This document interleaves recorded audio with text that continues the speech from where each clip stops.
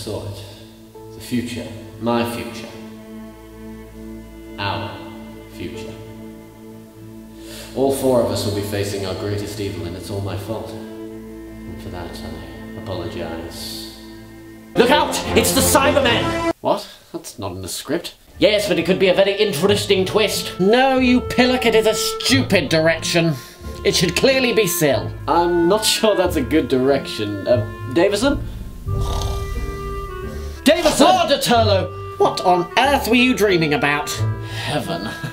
what are we doing? Ah, we're doing my Time War audio play. It's going to be quite the listen. All thanks to me, of course. Thanks to all of our excellent voice acting. Now back to the action. Cybermen! No, no, please, McCoy, stick to the script this time. I've worked very hard on it. Yes, yes, sorry. Does anyone have any suggestions on how to fix this mess that I have created? Perhaps we can set up a protective barrier made out of, uh, um, art, uh, uh, oh, this won't do at all. Artron energy. Why don't we change it to something else? Well, what do you have in mind? Penny energy. Absolutely not. It should be called Ace Energy. No, Artron energy is simple enough. Right, Davison?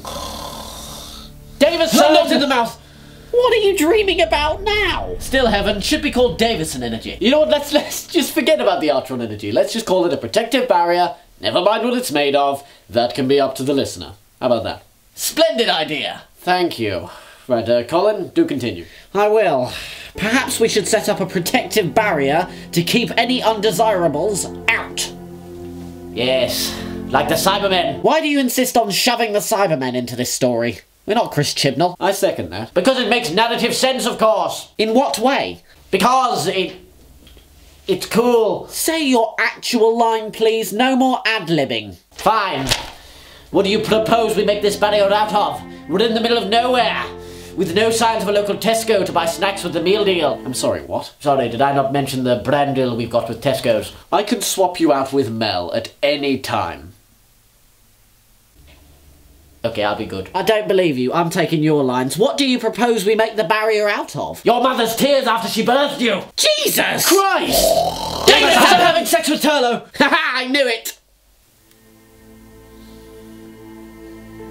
Get out. Sorry, come again? I said get out of this car, all of you! You ruiners of art. Well, I have never encountered such rudeness. I will leave of my own accord. I'm going to go find Ace and recreate this audio with the... Cybermen? The Cybermen? Ugh, no, the Autons, obviously.